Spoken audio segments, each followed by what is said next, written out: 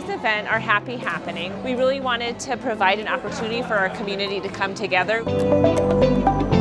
We just wanted people to be able to come, enjoy each other, enjoy meeting new people, have fun, relax, get to know each other and feel connected again. So we had Sweet Cow, which was a huge draw because like Sweet Cow's awesome. Beer and cider and lemonade and cookies and pretzels and popcorn and a bunch of games.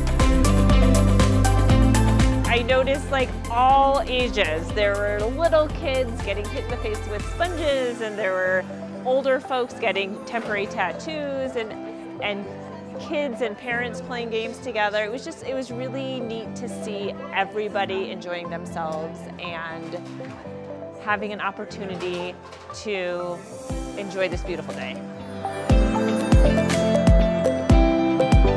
I just want to say that I have been in this job for about six months and feel so honored to be a part of families' Jewish journey, to get to help shepherd them through B mitzvahs, through their education, and just get to connect with wonderful people every day.